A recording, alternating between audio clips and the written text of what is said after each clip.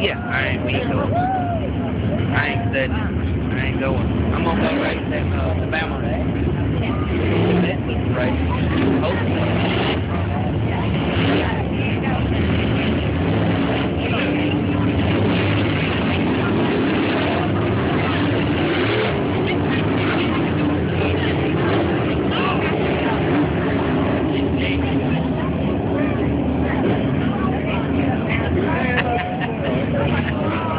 yeah, it's, it's a good chance they're gonna leave some of here. You know, you just try to keep the beat stick.